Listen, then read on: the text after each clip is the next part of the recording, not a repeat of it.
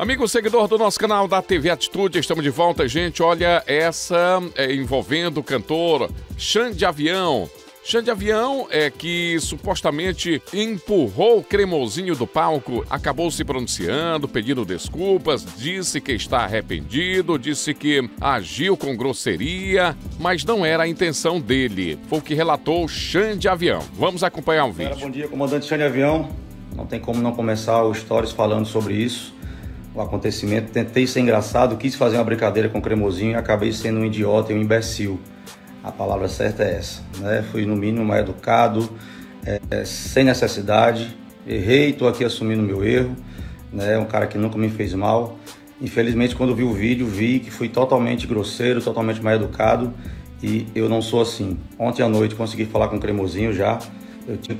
É isso, não sou perfeito, sou passivo de erros e acertos, estou aqui assumindo meu erro e bola para frente, né? Segue o jogo. É, obrigado, Cremosinho, por ter me atendido ontem. Deus lhe abençoe.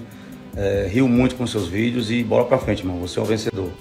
Então, gente, essa fala de Xande Avião é devido a um vídeo que viralizou, onde o cantor chegou até o humorista, ele fez umas perguntas, né, umas suposições, segundo ele. Amanhã tu vai no show de Wesley Safadão? Tu vai fazer o quê? A mesma coisa? Cremosinho respondeu: se ele chamar, tem que fazer, né? Então, logo em seguida, Xande Avião retirou à força o humorista do palco.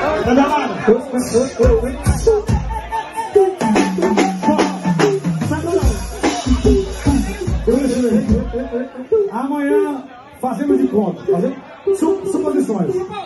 Suposições, suposições. Amanhã tu vai no jogo tu vai fazer o quê? A mesma coisa? A mesma coisa? Você tem outros atributos. Eu já vi uma foto sua no. Próxima estação. Daí, portanto, amigos, deixem aqui o seu comentário, o que você achou dessa atitude de Xande Avião e aproveita aí para se inscrever no nosso canal e ativar aí o sininho para receber as nossas notificações. Até a próxima!